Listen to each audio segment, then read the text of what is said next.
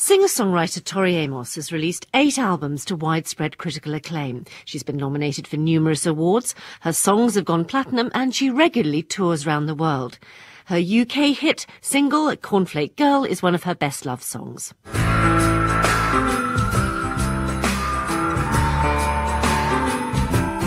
Never was a cornflake girl Thought that was a good solution, hanging with the raisin girls. She's gone to the other side, giving us a yo-yo. Things are getting kind of gross, and I go, it's sleepy time. This is not really, this, uh, this, uh, this is not really happening. Tori's earlier work dealt with traumatic experiences as she was assaulted by an audience member. She later set up a charity for victims of rape and abuse. Now living in Cornwall, happily married with a daughter, her recent work has turned to other themes. Tori's father was a Methodist preacher. She herself takes a rather less orthodox approach to Christianity. Her latest album is called The Beekeeper. I began by asking if she keeps bees herself. Are you kidding? no, no, no. No, I love the idea of what it means, the allegory, the idea of sacred sexuality. Bees being very much in the ancient feminine mysteries, the Eleusinian mysteries with Demeter and Persephone. And, you know, women are so divided within the Christian church, the Magdalene and the Mother Mary. Of course, in the record, I use a lot of symbology to bring these pieces and parts of woman together the woman, Mother Mary, circumcised from her sexuality, and the Magdalene stripped of her spirituality. So the idea of the bee tradition is that women would be in their sacred being with their sexuality whole.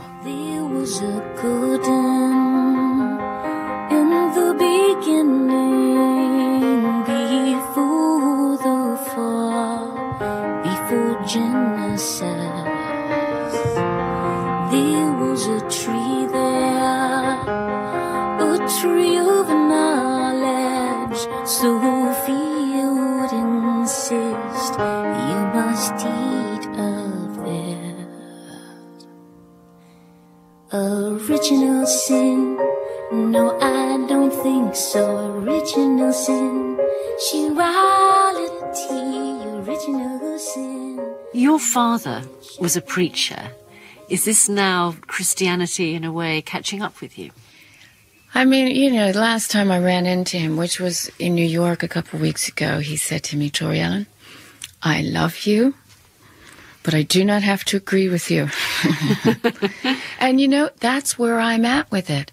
I said, Dad, the problem is, is that many other of the very Christian people that you associate with are not okay that we can see it a different way.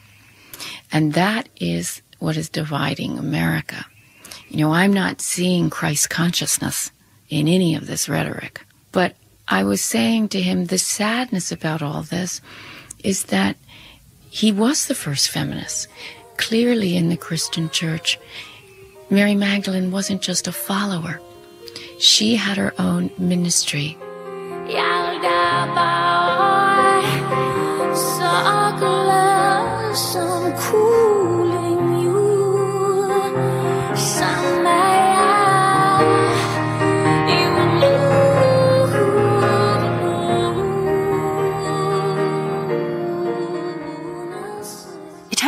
Been easy for your father, some of the themes that you've chosen for your songs. The one song, Father Lucifer, he took exception to.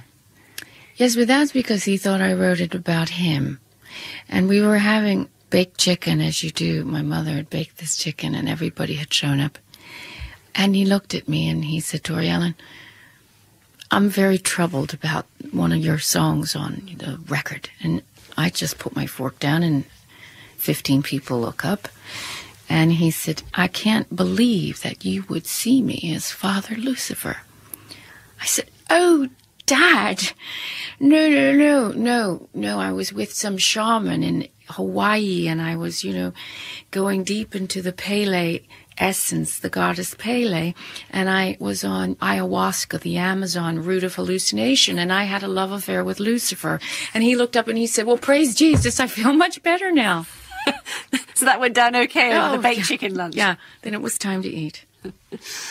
And you sounds like you're still very close to your parents. Yeah, I love them dearly. Without them, I I wouldn't be here. I I wouldn't be the songwriter I am. I mean, my dad has said, you know, for all of this persecution that you've been through, Tori Ellen, what would you have written about if I were a dentist? And I I think that's a fair comment. Now, one of the songs on the new album deals with very dark theme, deals with terrorism, but from quite an unusual perspective. Well, how are you going to get people to see that there are those that are really pushing these buttons every time they use the word terrorists? Masses of Americans agree to all kinds of things. So it seemed like we needed to undress the word. In order to emancipate a word, I find that you have to put different pictures to it. And when people have their own pictures, then they can't be as, you know, emotionally blackmailed. So, as I was watching people, and especially my daughter, she asked me what terrorist meant because she was watching the BBC News one day, and I didn't know what to say. And I was struggling, having a really hard time, and she said, I know, Mummy, it's like the bully in the playground. And I think she's really freed from any kind of coercion. She's not seeing a guy with a turban necessarily or a guy with an army uniform when that word is used. She's able to apply it to her own pictures.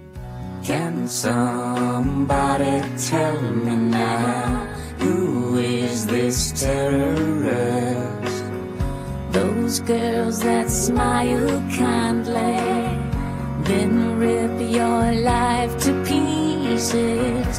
Can somebody tell me now? As you said, your starting point for the song was your little girl, your four and a half year old daughter. Must be difficult when you're promoting an album, you're off all over the world. She, uh, in the beginning, I think, was a lot more gung ho about the idea.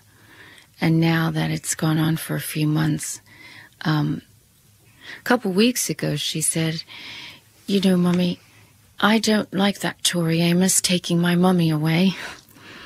And I had to, you know, say, Tori Amos buys the dolls. Let's don't be so hard on her. And then the, just a couple days ago, it's gotten to the point where she said, you know, Mummy, they they know that they're taking you away from me, and they know that you can sing to them, but you can't sing me bedtime songs anymore, and I can't handle it. Oh, heart wrenching. What did you say to that? Well, she just cried, real tears, you know, not crocodile tears.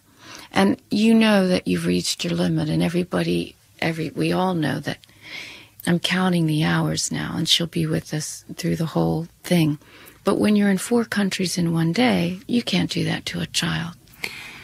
Now, clearly, your family are very important to you. You're happily married now after what's been certainly kind of turbulent, difficult life at various points.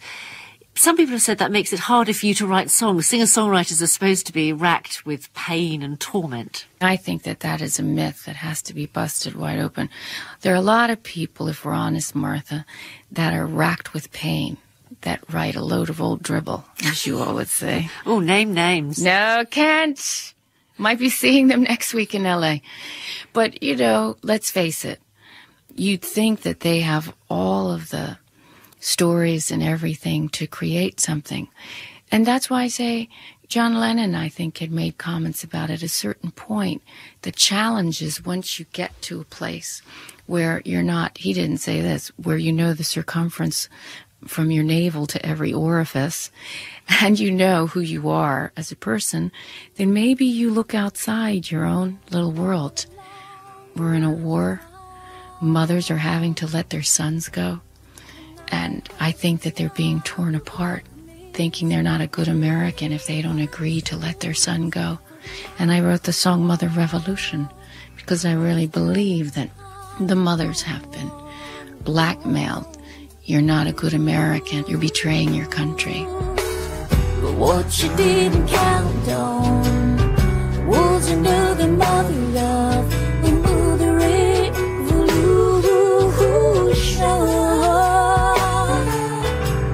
But what you didn't count